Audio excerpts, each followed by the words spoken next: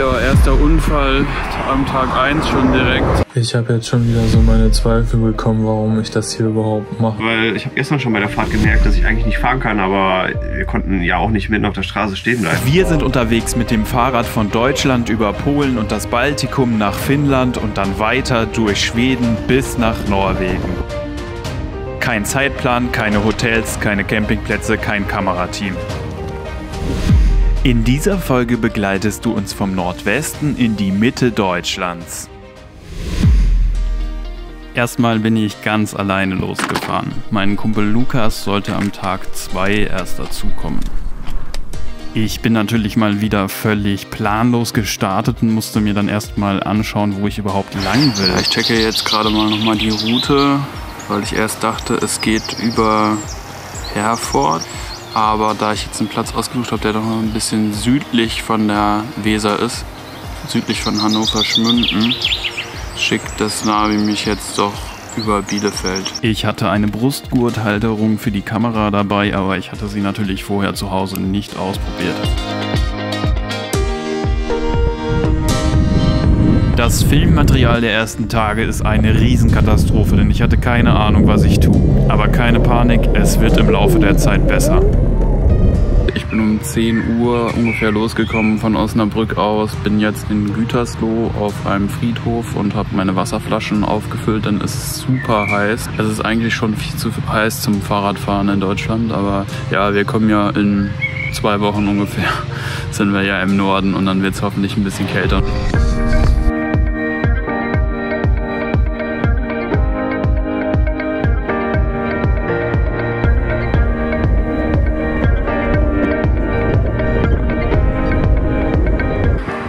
Erster Unfall am Tag 1 schon direkt. Ich wollte hier drehen, habe die Kurve etwas eng genommen und wollte mich dann mit dem rechten Fuß einfach abstützen und bin mit dem Fuß nicht aus den Klickpedalen rausgekommen und äh, auf die Seite gefallen und dann lag ich da.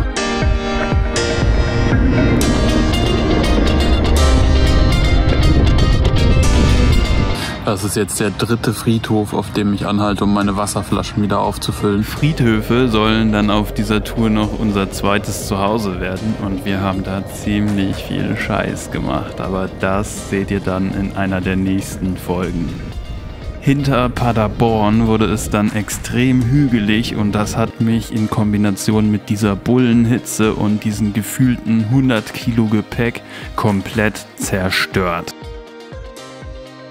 Komplett zerstört war dann natürlich auch meine Planung, denn ich hatte keine Chance mehr noch zu der Hütte zu kommen, in der ich eigentlich pennen wollte. Bin dann ein bisschen durch die Gegend geirrt und habe diese Wiese hier gefunden und gedacht, ich baue mein Zelt hier auf und plötzlich sehe ich, dass hier so eine Bruchbude steht und in der habe ich dann einfach geschlafen. Ich habe jetzt schon wieder so meine Zweifel bekommen, warum ich das hier überhaupt mache. Mir war gerade dann auch relativ kalt und äh, mir tut der Rücken weh und mir tun die Schultern weh. Ich muss auf jeden Fall so ein bisschen vom Gaspedal runtergehen die nächsten Tage. Hab dann noch Nudeln gekocht, hab dann noch äh, Grießbrei gekocht und paar Cracker gegessen und so. Und jetzt ist es fast halb eins und ich muss mal sehen, dass ich ein bisschen Schlaf kriege. Gute Nacht. Ja, guten Morgen. Es ist 9 Uhr schon. Ich war vorhin um 6 Uhr einmal kurz draußen austreten und das war alles nebelig und kalt und bin wieder in den Schlafsack gegangen und auch jetzt ist es noch relativ kalt. Ich habe keinen Bock aufzustehen.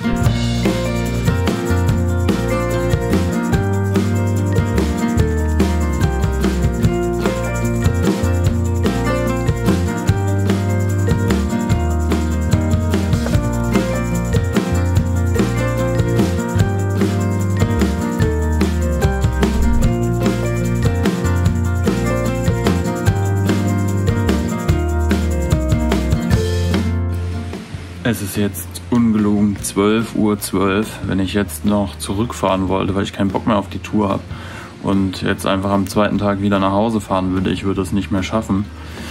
Es hat alles ewig gedauert mit Frühstück und es war so kalt und dann wollte ich nur mal eben schnell so ein bisschen Pappe und mein Klopapier verbrennen und hier ist ja so eine Feuerstelle und äh, dann hat das plötzlich den ganzen, diese ganze Feuerstelle in Brand gesetzt, weil da noch so viele Kohlen und so halb abgefackeltes Holz lag. Dann bin ich 15 Mal zum Bach gelaufen mit meiner Trinkflasche, hab die voll Wasser gemacht und immer wieder drüber gekippt und mit Steinen abgedeckt und so. Also man denkt immer, das ist super schwer, irgendwie ein Lagerfeuer zu machen und das überhaupt anzukriegen. Aber ein Feuer wieder auszukriegen, ist noch viel schwieriger, zumindest wenn man keine Zeit hat, das ausbrennen zu lassen.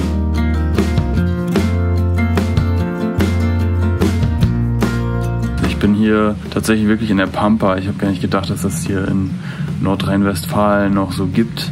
Hier ist fast kein Handyempfang. Deswegen konnte ich jetzt auch Lukas, den treffe ich ja heute, äh, gar nicht wirklich Bescheid sagen. Und ich fahre jetzt erstmal los und guck mal, ob ich irgendwo mal wieder ein bisschen besseren Empfang habe. Als ich dann endlich wieder auf dem Fahrrad saß, kam auch direkt schon die nächste Ablenkung. Das Wiesentgehege.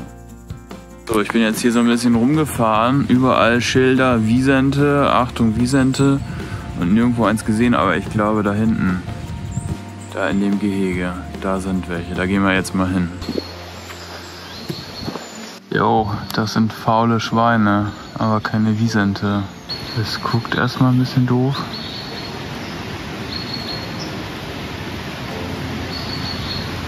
Ich glaube, das interessiert sich mehr für die Kollegen als für mich. Hier ist so eine kleine Beobachtungsstation, aber hier steht nur, dass die Pferde nicht gefüttert werden dürfen. Hier gibt es so ein Fernrohr, was aber gar kein Fernrohr ist. Das ist einfach nur ein Rohr, wo man durchgucken kann. Aber vielleicht hilft es einem so ein bisschen besser, sich zu fokussieren. Aber ich finde hier weder ein Pferd noch ein Wiesent. So, hier ist jetzt ein Pferd. Das ist ein Spezialpferd, das heißt Tarpan. Und das läuft hier so in so einem Mini-Gehege rum und versucht sich das Grünzeug so unterm Zaun wegzuziehen, weil es im Gehege hier nicht so viel gibt. Das letzte von diesen Pferden wurde 1876 in der taurischen Steppe eingefangen und in äh, Kleinasien und auf dem Balkan waren die verbreitet, wurden aber sehr stark bejagt und sind seitdem ausgestorben und jetzt die, die es jetzt wieder gibt, äh, kann man irgendwie rückzüchten aus Hauspferden und dem Urpferd. Keine Ahnung, wie das funktioniert. Ich habe das jetzt gerade mal nachgeguckt bei Wikipedia, was das überhaupt auf sich hat mit dieser Rückzüchtung, weil ich das etwas merkwürdig fand, äh, dass man eine ausgestorbene Art einfach wieder herzaubern kann. Und so ist es natürlich auch nicht. Also das Ganze sollte man eigentlich gar nicht Rückzüchtung nennen, sondern Abbildzüchtung. Das heißt, ich kreuze halt das Hauspferd und das Urpferd und dabei kommt etwas heraus, das sieht so aus wie ein Tarpan. Das ist aber kein Tarpan, denn der Tarpan ist ausgestorben.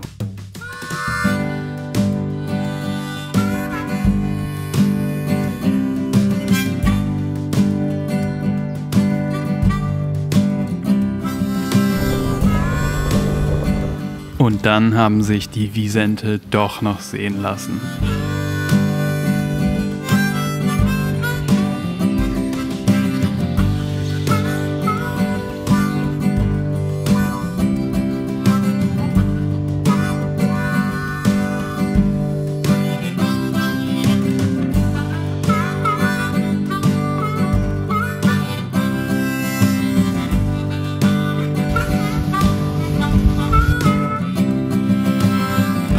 Ja, als ich das gesehen habe an der Straße, hatte ich ja so meine Zweifel. Erstmal anhalten, dann muss man die Biester erstmal finden, dann geht wieder so viel Zeit drauf.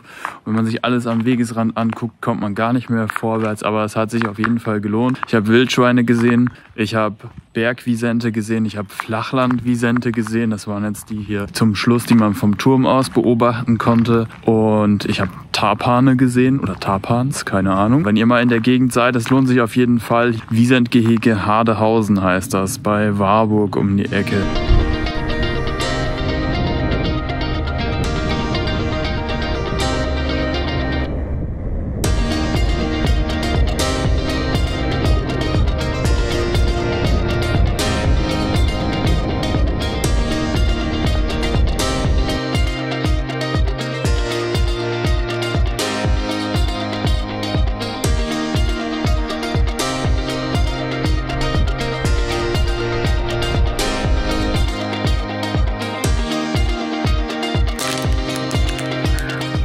Heute habe ich sehr gemütlich gemacht. Ich sitze jetzt hier gerade an der, am Diemelradweg. Ich habe, glaube ich, noch so 55 Kilometer vor mir bis zu dem Ort, also bis Spitzenhausen, wo ich Lukas treffen will.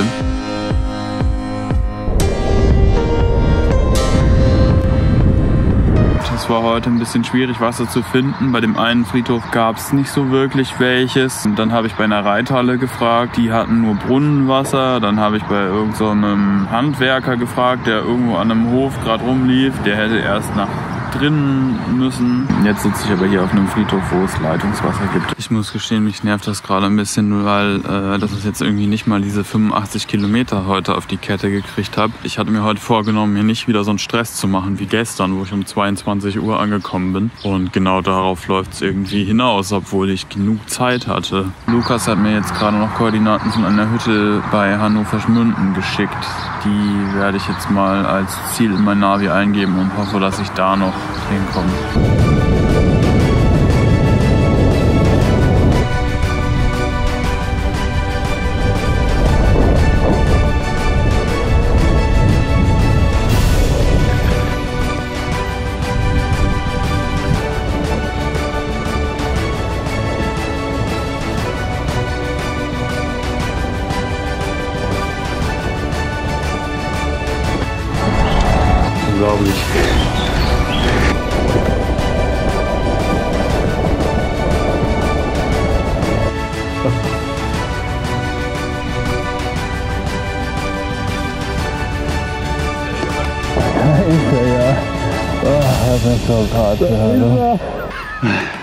Taschen. Oh, wir sind vereint. Jetzt war der erste Meilenstein schon mal erreicht und wir waren zu zweit, aber wir haben nichts mehr auf die Reihe gekriegt an dem Abend.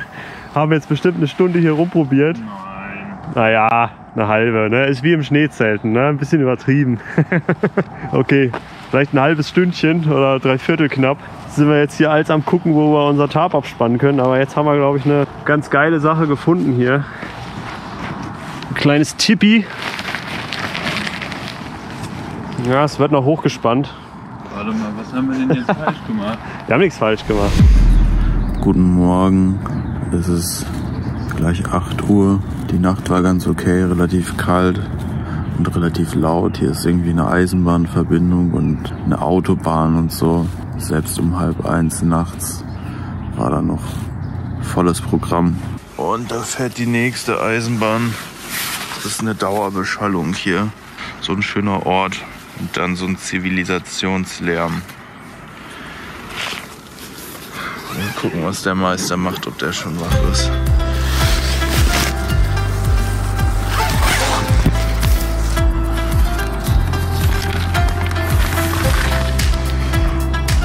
Da pennt er noch. Mit dem Handy in der Hand. Und merkt nichts. Guten Morgen. Na, wie hast du geschlafen? Ach, du hast. Ohne geht's hier nicht. Ja, ich hab's auch gerade schon gesagt. Es ist eine Dauerbeschallung hier. Morgen. Es wäre so ein schöner Platz, aber diese Autobahn und diese Eisenbahn müssen einfach weg. Und der Handyempfang könnte noch hin. Ich dachte schon, der führt Selbstgespräche. Nee, Ich habe nee. nämlich nur so eine Vibration gemerkt. Ich denke so, schnarcht er jetzt oder redet er? Nee, ich habe mit meinen Followern geredet. Ja, wir haben hier unsere Stromfarm aufgebaut. Das ist alles ökologisch. Läuft, jetzt wird hier geerntet. Jetzt haben wir Gain. Wir sind unterwegs. Oh, ey, das ist so schlimm. Die Knie, mein Knie tut so weh. Da hinten fährt Commander und die Tour ist echt, die läuft so schleppend. Das ist Wahnsinn. Wahnsinn. Das ist irgendwie, aber wir kommen da noch rein. Es war ja, letztes Jahr waren wir ja schon alle unterwegs länger und da waren wir natürlich dann auch schon gut drin. Aber das, das wird schon noch, also das, das geht schon. Naja, mal gucken, was der Tag so bringt. Jetzt fahren wir erstmal los Richtung Witzenhausen und sehen mal, was so abgeht.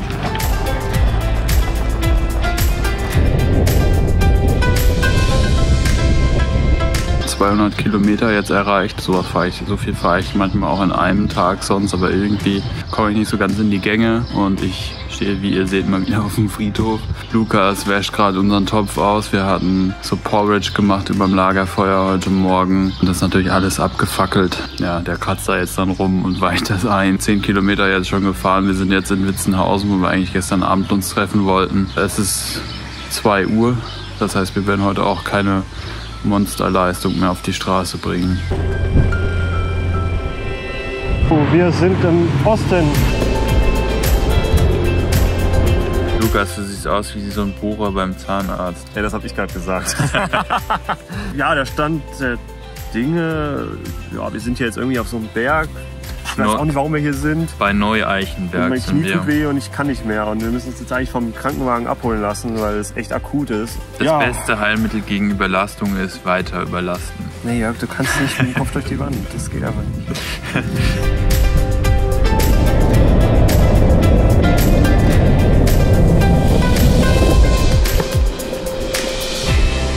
Wir sind jetzt kurz vor Heil- Bad Heiligenstedt oder Stadt. Ich bin jetzt hier gerade mal vorgegangen. Am Weg war die Zwergenhöhle ausgeschildert. Hier sind auch ganz viele Kinder. Ich laufe jetzt hier mal hoch und schau mal, wo das Ding ist. Lukas wartet unten am Fahrrad. So, ich glaube, ich habe sie gefunden, die Zwergenhöhle. Da sind vielleicht auch keine Kinder mehr drin. Wir gucken mal. Ich glaube, die sind alle raus.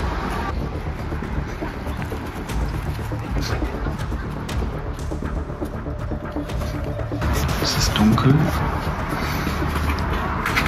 und eng.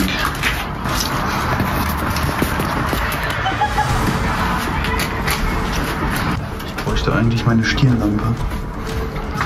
Ich versuche das jetzt so ganz langsam. Wenn man hier abrutscht, ist man nämlich ziemlich am Arsch.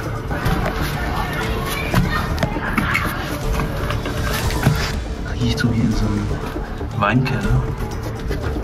Hier ist Ende. Ich sehe nichts. Nee, es geht noch weiter. Jetzt mit Licht. Oh, das geht noch ganz schön weit. Oh, meine GoPro auf dem Helm. Die ist gleich ab.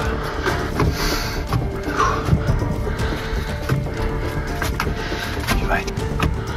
Irgendwann muss das doch mal vorbei sein. Ich komme hier kaum noch durch. Ich krieche jetzt hier weiter durch ich wissen will, wann das Ding zu Ende ist oder ob ich da irgendwo rauskomme.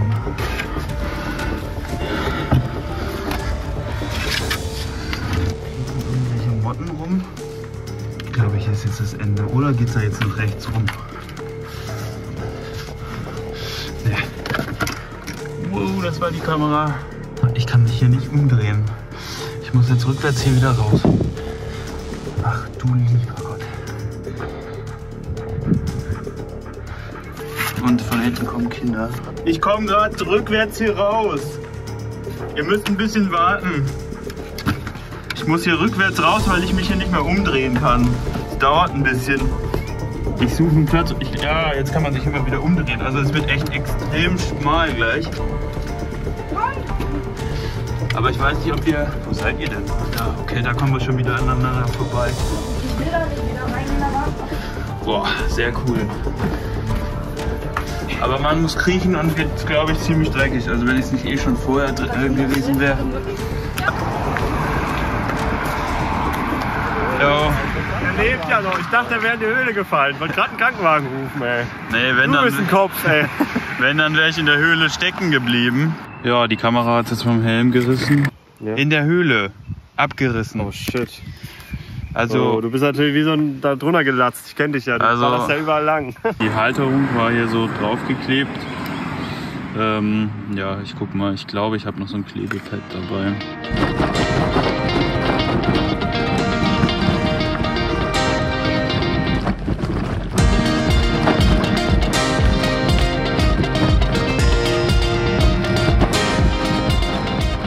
Da ist es in Sicht, unser Domizil. Lukas checkt es schon aus. Mitten im Wald hier in Thüringen. Sieht echt gemütlich aus. Je größer die Artenvielfalt, desto stabiler ist das System. Deswegen sind wir jetzt hier und vergrößern die Artenvielfalt. Aber ich glaube, die Gleichung geht nicht auf mit dem Menschen als Art. Der macht nur alles kaputt. Ja, wunderschönen guten Morgen. ja, wir lachen, aber eigentlich ist mir nicht zu lachen. Ich habe übelste Knieschmerzen. Also mein linkes Knie ist komplett im Eimer. Habe jetzt schon alles in mich reingeballert, was ich da habe. Magnesium, Spirulina, MSM, nochmal Magnesium, Zinktabletten. Ich habe eine ganze Apotheke dabei. Also so kann ich nicht weiterfahren. Das ist tatsächlich ein Problemchen, weil ich habe gestern schon bei der Fahrt gemerkt, dass ich eigentlich nicht fahren kann, aber wir konnten ja auch nicht mitten auf der Straße stehen bleiben. Es war super kalt, es war die kälteste Nacht überhaupt. Es waren drei Grad heute Nacht laut Internet und ich habe im Schlafsack gelegen und gefroren und hatte dann so im Hinterkopf, dass irgendwie so ein, dass ich mal so einen YouTuber einige gesehen habe, so einen Survival-Typen, der meinte, wenn du das machen kannst, mach es. Was bedeutet, nicht erst lange rumliegen und überlegen und denken, ach, das geht schon, sondern aufstehen und machen. Und das habe ich dann auch gemacht. Das war natürlich unangenehm, aus dem Schlafsack nochmal rauszugehen. Aber ich habe mir dann langes Merino-Oberteil, lange Merino-Unterhose nochmal drüber gezogen und dann ging es einigermaßen. Und jetzt heute Morgen kommt die Sonne raus, aber ich sitze jetzt hier sogar noch mit deutlich mehr Klamotten als im Schlafsack. Ich hoffe, dass es jetzt bisschen wärmer wird heute und dass das jetzt die letzte kalte Nacht wird. Sonst kann ich hier bald wegen Erkältung abbrechen. Und Lukas kann bald abbrechen, weil er ein Problem mit dem Knie hat. Rein rechnerisch müssten wir jetzt, glaube ich, schon an der polnischen Grenze sein, wenn wir unsere 125 am Tag geschafft hätten. Ich zeige euch jetzt noch mal kurz unsere Hütte, während mein Müsli hier einweicht. Da stehen die Fahrräder. Und ja, diese Hütte ist von drei Seiten zu, wobei es unten so ein bisschen durchzieht. Und das Problem hier war, man sieht das ja auch bei meiner Isomatte ganz schön, dass die Matte breiter ist und der Mensch breiter ist eigentlich als diese Bänke und man da nachts runterfallen könnte. Deswegen hatten wir die Idee, das hier einfach mit so, so einer Art selbstgemachten Fallgitter abzuspannen. Ich weiß nicht, ob es halten würde jetzt, aber ähm, man hat es heute Nacht gemerkt, wenn man sich dagegen gerollt hat, hat man sozusagen eine freundliche Erinnerung von diesen Bändchen bekommen, dass es nicht weitergeht. Und was auch ganz gut war, war, dass das Ganze hier halt die Isomatten, also bei mir sind es ja zwei, in Schach gehalten hat, dass die über die, wenn ich im Zelt zum Beispiel schlafe, äh, verrutschen die schon mal. Und äh, das hat das auf jeden Fall gut verhindert. An diesem Tag funktionierte dann einfach gar nichts mehr. Lukas Knieschmerzen wurden immer schlimmer, seine Schaltung wollte nicht mehr richtig, deswegen hängt das Fahrrad auch hier am Paracord und er ist gerade dabei, das wieder einzustellen. Gleichzeitig saß ich da an meinem Laptop und wollte die Clips der letzten drei Tage schneiden, um ein schönes YouTube-Video rauszubringen, hatte aber wenig Erfahrung mit Schneiden, hatte nicht das richtige Schnittprogramm. Sechs Stunden und einige Nervenzusammenbrüche später haben wir dann einfach beide beschlossen, das Ganze aufzugeben. Ich habe mein Video nicht zu Ende gebracht und Lukas hat die Schaltung so gelassen, wie sie war. Und dann sind wir einfach los. Ja, eben kurz einkaufen gewesen. Bisschen was für die Pasta Bolognese geholt heute Abend. Und ja, jetzt schrubben wir noch ein bisschen, gucken mal, wie weit wir kommen. Also geschrubbt haben wir schon mal gar nicht, weil Lukas Knie da ganz anderer Meinung war und weit gekommen sind wir dann dementsprechend auch nicht an dem Tag. So, wir sind endlich angekommen. Meine Güte, was eine Tortur heute. Die GoPro funktioniert nicht mehr, mein Knie hat den ganzen Tag geschmerzt. Es ging gefühlt nur bergauf mit Gegenwind, mit kaltem Gegenwind. Es ist heute irgendwie alles zum Kotzen. Wir sind auch erst um 16 Uhr gestartet. Und jetzt steht hier noch zur Krönung, letzte Hinrichtung. Ja, geil. Also wenn wir hier heute Nacht verrecken, das ist das letzte Lebenszeichen. Ja, mein Knie ist so im Arsch. Es tut mir leid. Ah. Aussieht, fahren wir jetzt nach Bleicherode an den Bahnhof fahren nach Hause, kurieren uns aus, tauschen Sachen aus, bestellen Sachen, die wir brauchen, lassen Sachen da, die wir nicht brauchen. Und dann geht es im besten Fall in zwei, drei Tagen weiter. Die Entscheidung abzubrechen war extrem hart. Aber sie war richtig und hat Schlimmeres verhindert.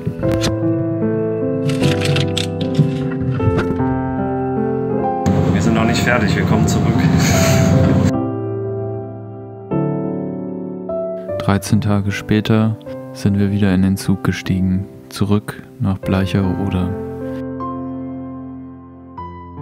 Wie es weitergeht, seht ihr in Folge 2.